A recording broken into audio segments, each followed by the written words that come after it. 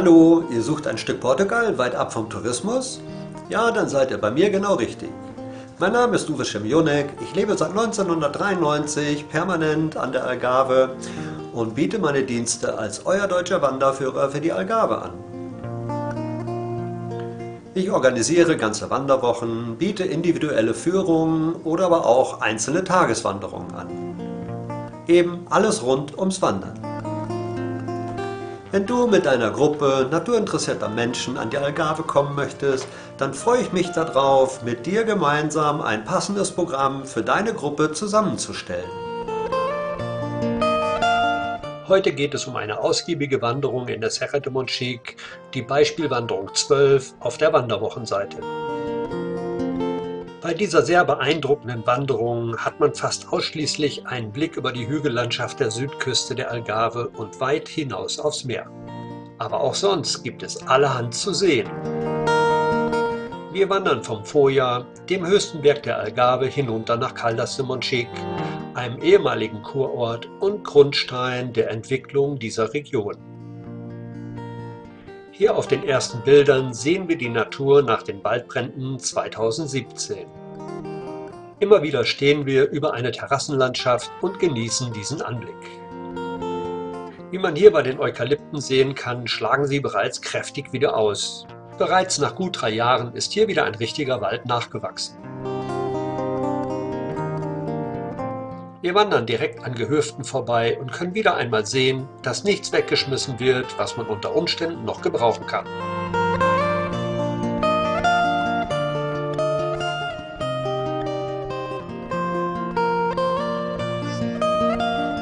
Wir befinden uns noch recht weit oben am Berg und haben dementsprechend immer noch diese wunderbare Aussicht.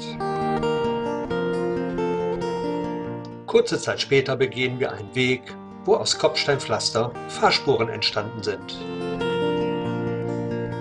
Auch kommen wir an modernen Neubauten vorbei, die sicherlich an Touristen vermietet werden, denn bei so einer Aussicht kann man völlig entspannen und ein Gefühl von Urlaub stellt sich ein. Wir wandern weiter auf diesem gepflasterten Weg bergab und freuen uns, hier zu sein.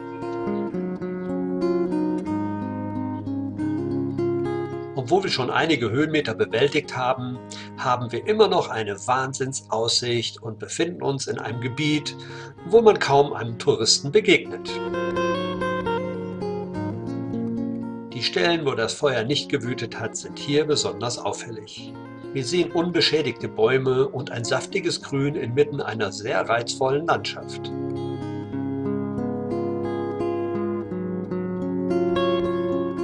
Wir sind nun schon wieder etwas tiefer gewandert, aber befinden uns immer noch oberhalb der Hügellandschaft, die uns zu Füßen liegt. Den gepflasterten Wanderweg haben wir bereits verlassen und sehen nun vermehrt alte Bauernhäuser mit ihren Terrassen, die verstreut an den Hängen gebaut wurden. Olivenbäume, Korkeichen, Zitronen, Mandarinen und Orangenbäume sind auf den Grundstücken zu sehen.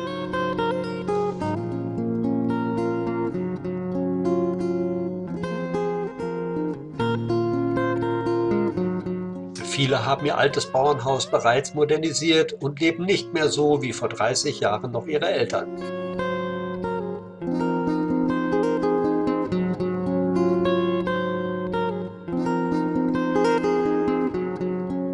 Zu unserem Glück mit dem herrlichen Wetter kam noch hinzu, dass wir einen Esel am Wegesrand antrafen, der dort genüsslich am Grasen war und uns neugierig gemustert hat.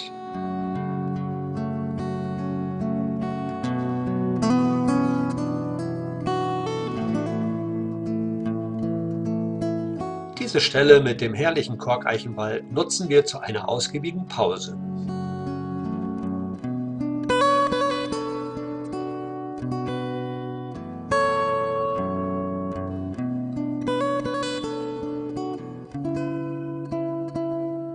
Wir wandern weiter bergab. Ständig ändern sich die Perspektiven und wir genießen, was wir sehen und wo wir sind.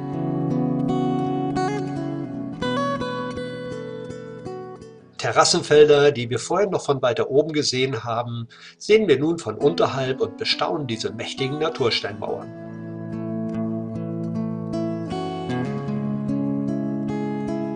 Wenn man sich überlegt, dass die meisten dieser Terrassenmauern schon hunderte Jahre alt sind und dass sie in Handarbeit mit einfachsten Mitteln und Werkzeugen hergestellt wurden, dann bekommt man Respekt vor dem, was da geleistet wurde.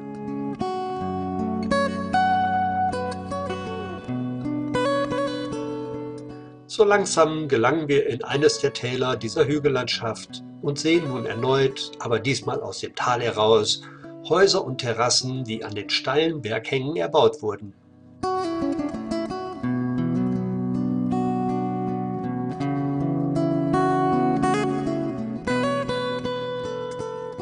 Wir wandern direkt vor der Haustür eines ehemaligen Bauernhauses vorbei, weiter zwischen den Hügeln durch Gartenanlagen mit den verschiedensten Obst- und Zitrusbäumen.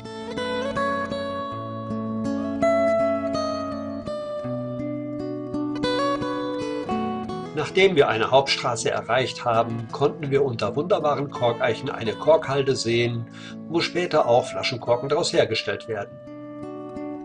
Auf sehr alten, ursprünglichen Wegen, die aber passend zur heutigen Zeit geteert sind, wandern wir an einigen Häusern vorbei in ein unbewohntes Gebiet, wo wieder der Eukalyptus vorherrscht.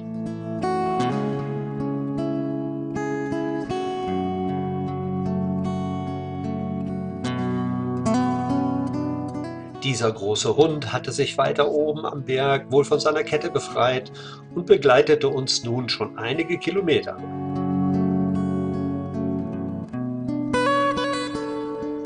Die letzten Kilometer wandern wir auf breiten Wanderwegen durch Zistrosen und Eukalypten unserem Ziel Caldas Monchique entgegen. Auch hier haben wir wieder eine tolle Aussicht, können gerade noch über die Hügel schauen und das Meer sehen.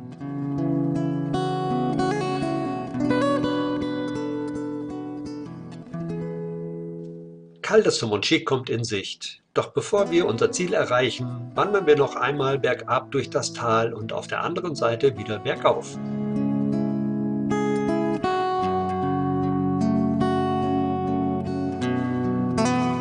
Gut gelaunt und zufrieden mit dem, was wir geleistet haben, erreichen wir die Parkanlage von Caldas Monchique und beenden die Wanderung an der Taverne neben dem Steinbackofen.